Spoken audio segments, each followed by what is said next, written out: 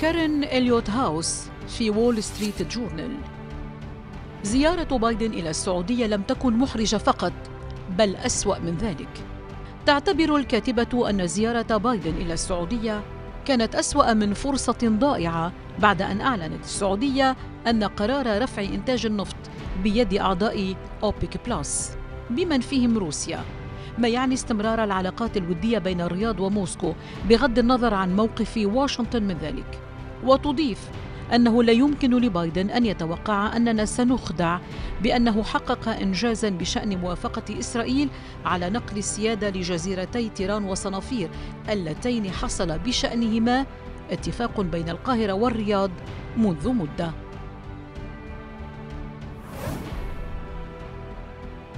إشعان ثارور في واشنطن بوست هل كان زيارة بايدن للشرق الأوسط تستحق العناء؟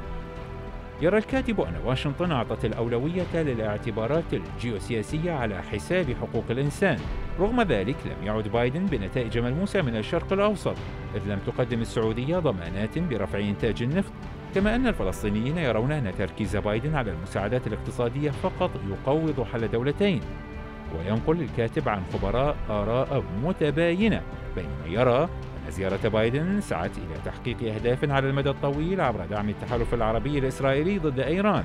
ومن يعتقد أن إسرائيل والسعودية حصلتا على ما تريدانه. عبر استمرار نظام الأبارتايد ضد الفلسطينيين وإنهاء وضع الدولة المنبوذة للسعودية في حين أنه من غير الواضح ماذا ربحت في واشنطن في المقابل.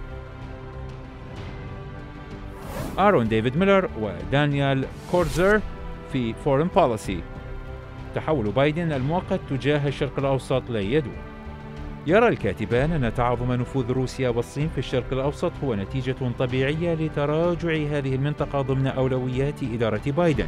لذلك من غير المؤكد أن دولا كالسعودية والإمارات وحتى إسرائيل ستصطف إلى جانب واشنطن بسبب العلاقات الاقتصادية والعسكرية التي تربط هذه الدول بموسكو وبكين.